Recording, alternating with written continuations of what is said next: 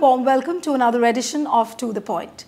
The state of Jammu and Kashmir remains on the boil even after 70 years of independence, starting from insurgency to periods of unrest and then followed by a brief lull. This almost has been a pattern. But can there be a solution to this long-standing Kashmir dis dispute? Joining me now is the former Deputy Chief Minister of Jammu and Kashmir. He's also a veteran PDP leader and is currently the Lok Sabha MP from Baramulla. I welcome Mr. Muzaffar Hussain Baig onto the point. Thank you, madam. Uh, Mr. Baig, I would like to start by asking you that are we seeing the darkest hour in the chapter of a cyclical Kashmir unrest? Will you call it the darkest hour? In one sense, it's the darkest. Though we have uh, seen massive uprising in uh, 2006 when more than half a million people came out on the streets. That's not the situation today. We had unrest in 2010, which lasted for about five months. Right. This is darkest in a different sense. It has become more pervasive. Okay. And slightly different in the subterranean motivation behind this uprising. Earlier, the uprising used to be confined to urban areas. It was more an urban urban phenomenon. About 75% of the population is rural population. It barely touched them. Uh, this time, it is so pervasive that there is hardly any village which is not involved. But the massive uprising which we have seen, especially after the killing of uh, the Hizbul leader Burhan Wani, observers have started saying that the way PDP is handling the situation, it looks no different uh, when you compare it with the National Conference. Would you agree that? It's true that it has it is being treated as a law and order situation. Okay. That's what Farooq Abdullah did. That's what happened even in 2006 when there was a coalition government in which PDP and Congress were partners. Right. However, the during uh, Mufti's uh, tenure, uh, when, when I was in the government, it was seen more as a political problem. And that's why during that time, Indo-Pak relations improved. The trade in Kashmir and from Jammu with, with Pakistan-occupied Kashmir started during those days. Right. There were great confidence in building measures that were taken. So it was perceived, understood, and tackled as a political problem. But our problem is that once there is some uprising, we appoint an interlocutor or working groups.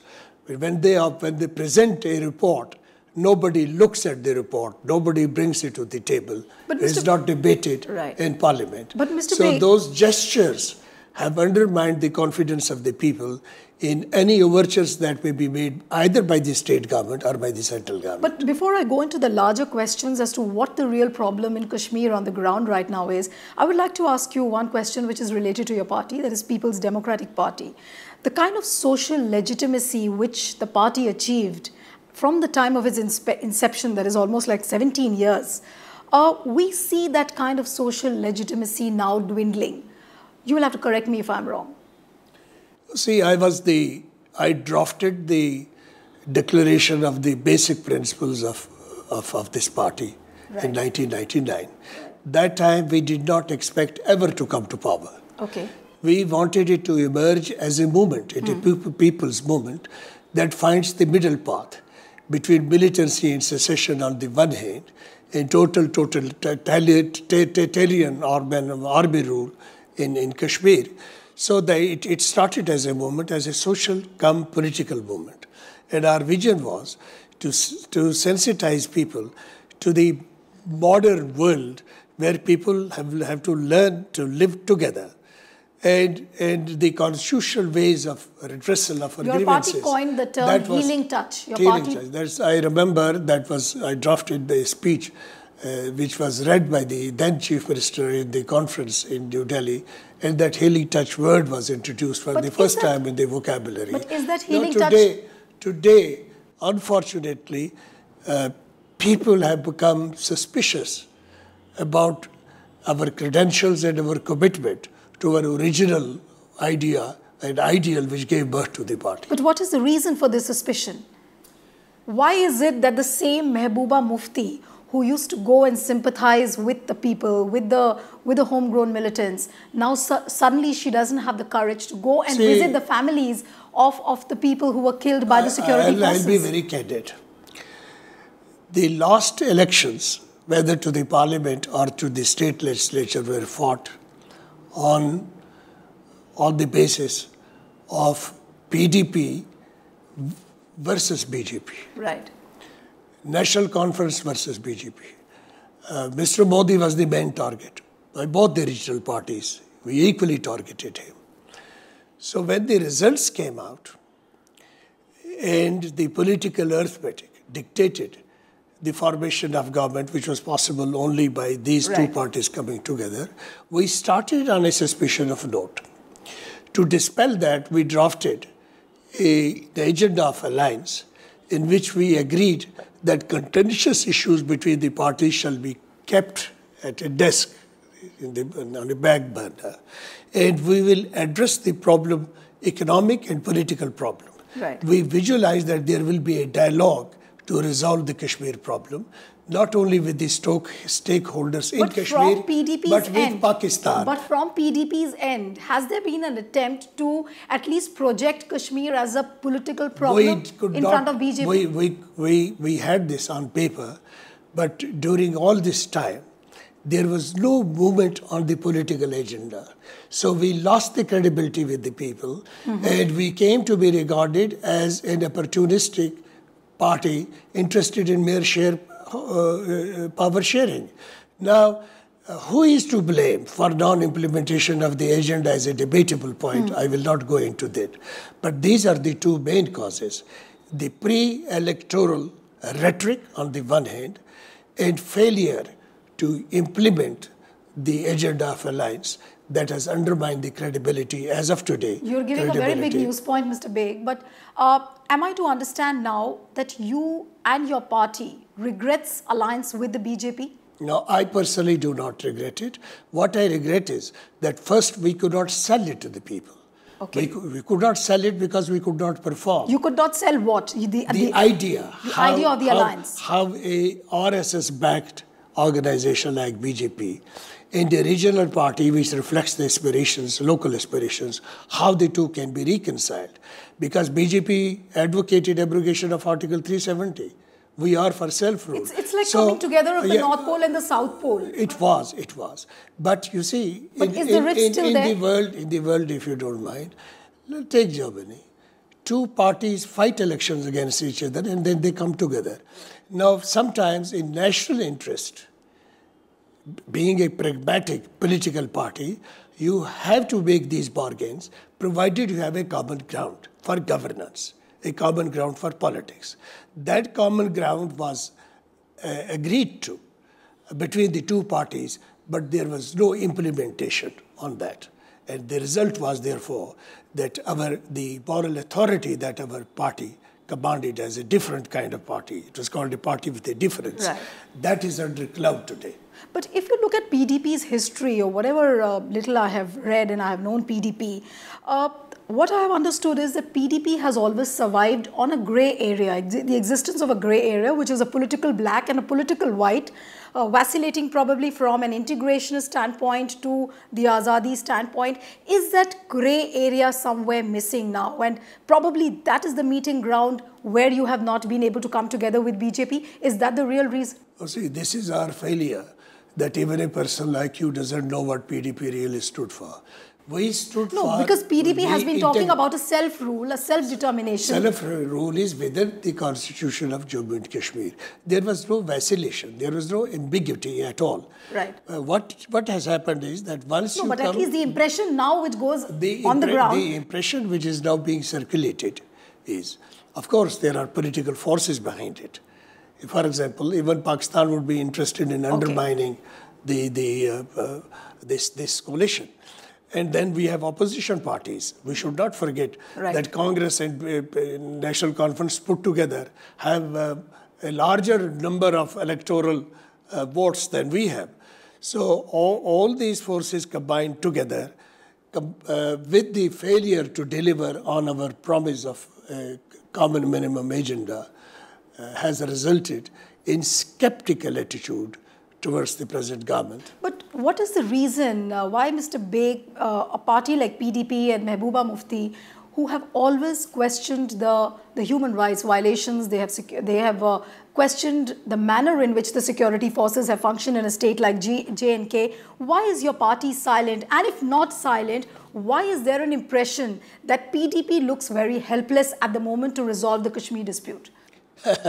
not only PDP, even government of India and government of Pakistan are helpless. I want to know the reason. You're a veteran helpless. leader. You would explain it better. You are helpless. You see, we are not a sovereign party. We can only request the government of India to initiate a dialogue process with Pakistan or with the secessionists. That's all we can do. We can't take the policy decision on foreign affairs. So which, which party lacks the political will? Is it PDP, is it BJP or is it the international scenario which is It is the up? international scenario. Okay. You see what is happening is that Pakistan, Pakistani, the, the strongest man in Pakistan was Musharraf. When he initiated the process and the agreement was almost close to being signed, as, as right. Dr. Manmohan Singh has right. himself disclosed, and Musharraf has disclosed that. What happened? There was a conspiracy within Pakistan, and the military establishment put judiciary and Musharraf into conflict, and Musharraf had to go.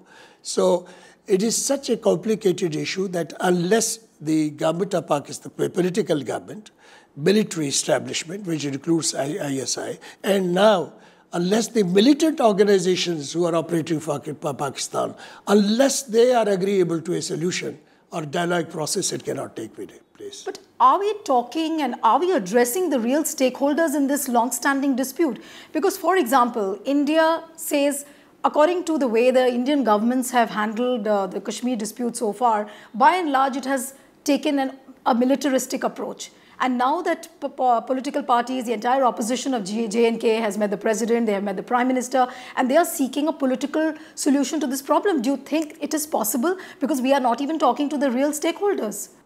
See, there is a the mistaken view about who are the uh, stakeholders. Mainstream who parties. Are the stakeholders I will tell you. Mainstream parties those who want de-accession from the state, okay. they are stakeholders. All the three regions are stakeholders because the Kashmir is not a homogeneous entity. Right, right. Jammu people have different aspirations, Ladakh have different aspirations, and Pakistan is a stakeholder. 50% of our uh, of territory is with Pakistan and China. And by virtue of Shimla Agreement, please, this is the most important right. point I have to make. By virtue of Shimla Agreement, the first clause is that this issue will now be resolved bilaterally between India and Pakistan. Yeah. So Pakistan is a stakeholder. Pakistan is so in of If you go by the merits territory. of the Shimla agreement, hmm. the Kashmir issue should not be internationalized, but but India has allowed Pakistan to internationalize it in a big way. Whose fault is it? I think I have, I, I have been very candid that Burhan, uh, Burhan's death gave an opportunity to Pakistan to internationalize this issue in real terms. Earlier also, Pakistan always wanted to take this issue to UN, but they got a cold shoulder. They took it to Islamic organization uh, uh in the world. But this time they have got some backing from IOC. They they have they are listeners in, in, in Western world also. Right. and this this happened because of the of, of the killing of Burhan Wani, the way it was handled. But Mr. Uh, Mr. Baig, Burhan Wani is just one uh, person in this entire uh, mapping of the way the homegrown militants are growing. We have seen, I mean, I have the figures from the police uh, which say that in 2013, we had 31 local youths who joined militancy. The number rose to about 66, which was in 2015, and still the numbers are rising. What do you think is the basic reason why the young children, the young boys, they are taking to militancy. And in fact, the number of the homegrown militants, the indigenous militants, is rising. It's far by greater than the foreign it, militants. It is the number of people who are becoming sportive of the cause of de-accession is increasing mm and is radical, more radical than before, because people have lost faith in the Indian state. In the political the, establishment, the, you're saying? Political establishment, both at the national level and the state level. Right. And they think that every time a, a, a promise is made, it's, it is not acted upon. We made a promise. We had five uh, working groups who came up with workable, uh, you know, recommendations. Right. And even some uh, members of the Hurriyat conference were on board. But what happened? Nobody looked at it. Then in 2010, after such a massive uprising, you know, half a million people getting together, marching towards Pakistan. Well, you have interlocutors. Nobody looked at that report. Each time when you talk to the various political parties on Kashmir issue and the I mean, irrespective of the political parties, but the but the political parties who have ruled the central government and the state government, they say that the Kashmir dispute can be resolved within the framework of the constitution. This is our but view. This is your view. Mm. This is what the BJP also says. Mm. And all the political parties have been saying this, that they, they have an open mind on this, their doors are open. But why can't all the political parties back these claims with some substantive action? Because if you would go on the ground, all these actions are missing. First, first of all, all political parties are on, not, not on the same page. Okay. Even regional parties like uh, NC and PDP don't have the same so vision. Which means that this is one of the BJP, basic reasons of the rot. BJP is, is theoretically at least uh, committed to the abrogation of Article 370. Okay. This, this, is, a, this is a very right. unique combination we have today. Right. But even if you, even if you take every political party in Kashmir on board, so long as Pakistan is there and it has an agenda vis-a-vis Kashmir, this problem will not be solved. When Prime Minister Vajpayee was there, he had sent uh, the Home Secretary to talk to the Hizbul chief. Prime Minister Manmohan Singh also came to a near end, you know, to almost to an to one step short of, you know, resolving the conflict, but somehow things didn't work when Pervez Musharraf was there. But can the present PDP government prevail upon BJP really to resolve this crisis? At least they send somebody who can talk see, to the they, people in Kashmir? You see, uh, Indian establishment doesn't have to do it because PDP wants it, or NC wants it, or the opposition wants it. Okay. They have to do it in the national interest. We cannot uh, uh, uh, live in a perpetual state of hostility with Pakistan. We have sorted out our relations with, with Bangladesh. We uh, uh, must realize that so long as Pakistan and India are enemies, both will suffer, both will bleed. So it is for the sake of the nation and India now emerging as a superpower economically, morally also it has to be a superpower. You can never expect to go to Security Council and find a position if you are in a state of conflict with your own neighbors. So it is in national interest, whether it's BJP or Congress or anybody, I think it is as much the, uh, the responsibility of all the political parties of, uh, of, of, of, Indian nation as it is of the local parties of Jammu and Kashmir to at come recent, together. At to the come. recent all-party meeting, Prime Minister said that he recognizes uh, Jammu and Kashmir into four regions where he also mentioned POK as one of the major uh, regions apart from Jammu, Kashmir, uh, Valley and Ladakh. Uh, how would you see his statement that POK see, is this, also one of the regions where India would... This statement was prompted by Dr. Karan Singh, who stated in Rajya Sabha, as well as in the all parties meeting, he stated that his father had exceeded the entire territory of Jammu and Kashmir. And we are forgetting that 50% of, ter- of that territory is with Pakistan and China. And therefore, whenever a Kashmir issue is to be resolved, it cannot be only with respect to the territory that we have in control it will also involve some kind of settlement of those territories which are with China and Pakistan. And therefore, uh, Kashmir is four regions. Jammu and Kashmir, geographically, constitutionally, are four regions. But only three regions are with the Union of India.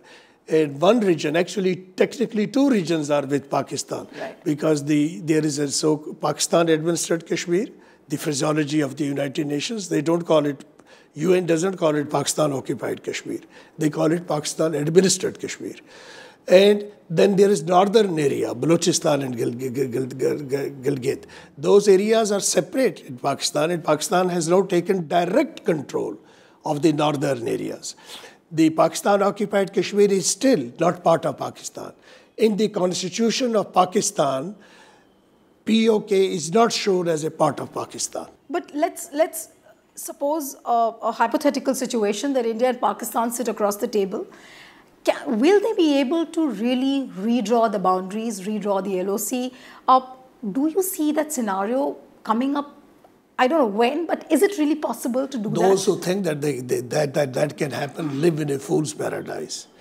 A status quo will have to be made de jure factual ground is so much of territories with Pakistan, so much as with China, so much as with us, will have to be given. It has already been given a status of a permanent border right. by virtue of Clause 2 right. of the Shimla Agreement.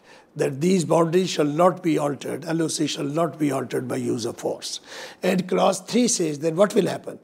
That to find the final solution that's been with respect to the LOC. Final decision shall be taken by the two prime ministers of the countries who will meet from time to time. Right. So when we say it is an internal problem and we don't want to talk to Pakistan, we are we are talking to the local constituency. Right, right. But constitutionally and politically, we are bound to talk to Pakistan by virtue of the Shimla Agreement at the highest level, at the level of the prime ministers. That is a that is a treaty which is which binds the two countries. According to what you're saying, which means that there is actually no solution to the Kashmir problem because it is like uh, two parallel roads running. Composite dialogue happens, may not happen. Both the scenarios are there. If you look at the world history, there is always a solution possible. Uh, France and, and but, but solution Britain, has to be within a certain framework, framework provided framework. that the parties are yes, ready to sit and that talk. Framework that is not be, happening. See, we are talking that solution shall be within the uh, Insaniyat and Kashmiriyat and Jamhuriyat.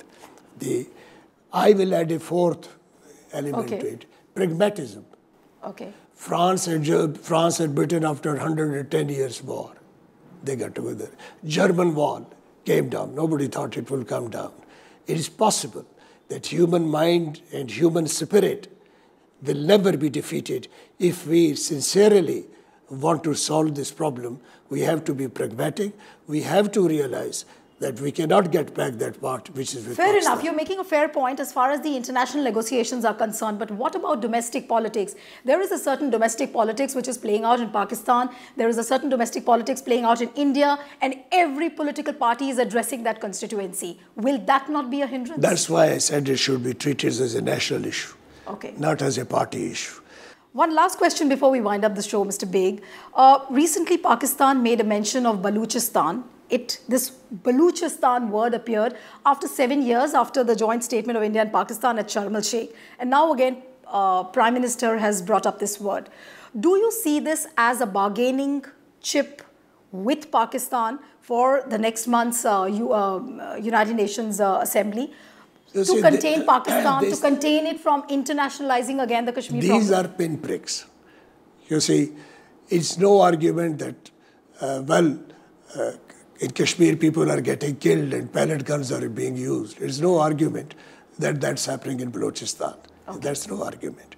but I don't know for what reason uh, a Prime Minister brought up this issue the world knows what is happening in Balochistan. Right. But that's an internal problem of Pakistan. But never before has an Indian Prime Minister made a mention of Balochistan so openly and on such a significant day like the Independence Day. I think maybe he wanted to remind Pakistan that uh, by, that you, you, mind your own business. Your own house is, on, is not in order. you can't you can't but you can't tell us what to do in Kashmir. Even the opposition parties have criticized uh, PM. Some have lauded. Some have said it was a brave comment. It is provocative. How would a party like PDP see the uh, Prime the, Minister's the, comment? The first opportunity I get to meet the Honorable Prime Minister, I will want to know what prompted that statement and what did we get out of it. Okay. Yes, Pakistan needs to be reminded that it can't moralize us on human rights. There are breaches of human rights in India, not only in Jammu and Kashmir, in other places, right. with, with Dalits. We can't uh, you know, shut our eyes that on beef there are there are violations of right. human rights, and that this these kind of messages in Kashmir aggravate the situation. Beef aggravated, beef controversy aggravated the situation. Statements that Article 370 should be abrogated even after coalition, or that the Kashmiri flag should be abrogated, right. Kashmir's constitution should be abrogated. These statements coming from Sangh Parivar, they they they they let us let us bend our own house. You are pointing fingers at Sangh Parivar, but your own party is in alliance with BJP, whose ideological parent is RSS. That doesn't stop me from being a human being Okay. with an independent mind. And that doesn't stop my doing my, my duty as a citizen of this country. We should introspect and admit where we are wrong. Even if it is at the stake of your party governing the, a state like uh, If on principle this coalition breaks, it should break. Okay. If on principle, but it should not break simply because there is an uprising. Because if there, there is an uprising, there is so much of uh, Pakistan involvement in it. Every time there is a foreign involvement, we can't uh, resign. But if on a principle, suppose government of India says we don't want to resolve this problem through dialogue. But you can at least prevail upon I BJP I would- to at least recognize the problem of the homegrown militants. That's that's The- the political that's what- establishment at the central level is not ready to do that's that. What, that's what publicly and privately I'm trying to endeavor. Okay. So that the sensitize the leadership of BJP that these issues, these issues leave aside that it may jeopardize the government, Right. the continuance of the government. Suppose government of India says we will not talk, will not resolve, we'll use only military force. Of course, Mehbooba will have no credibility unless she resigns. We will have no credibility. You continue with your efforts, Mr. Baig. It was lovely talking to you. Thank you Thanks very for much. coming on to the point. much. Thank you. So that's it on this episode of To the Point. See you next time with another personality. Goodbye and thanks for watching.